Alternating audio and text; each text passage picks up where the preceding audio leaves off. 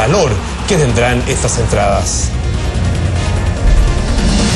¿Qué tal? ¿Cómo están ustedes? Vamos de inmediato entonces junto a Miguel Acuña y los detalles de esta noticia que le contábamos en titulares. Este accidente ocurrido en las cercanías del Parque O'Higgins. Miguel, buenos días. ¿Cómo están muchachos? Muy buenos días. Comenzamos a revisar, por supuesto, las noticias policiales con esta información que se produce a eso de las nueve y media de la noche de ayer, ayer la autopista central a la altura del Parque O'Higgins, todo esto en dirección al sur.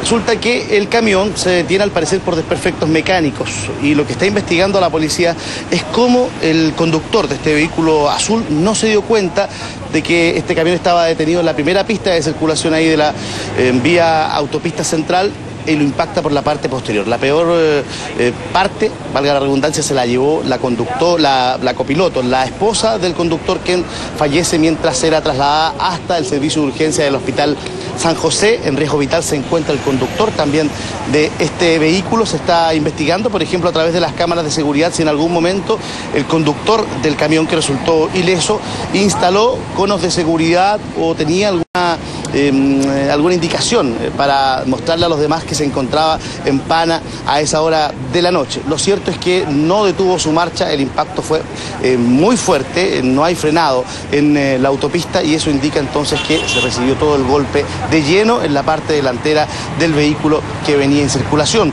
Es un accidente que mantuvo cerrada la autopista por varios minutos, sobre todo cuando trabajó personal de la autopista, el personal de emergencia de la vía concesionada y también personal del cuerpo de bomberos de Santiago que llegó a rescatar a los heridos eh, que quedaron atrapados eh, para, para ser atendidos eh, con el personal médico que luego los trasladó hasta el Hospital San José. Repetimos, la copiloto de este automóvil resultó fallecida y el conductor se encuentra gravemente herido. Vamos a estar ampliando esta información con antecedentes, también con declaraciones más adelante en Tele 13 AM y por supuesto cualquier información que surja durante esta mañana usted la va a conocer acá en nuestro programa. Muchachos. Bien, Miguel, estaremos contigo. Gracias. Buenos días.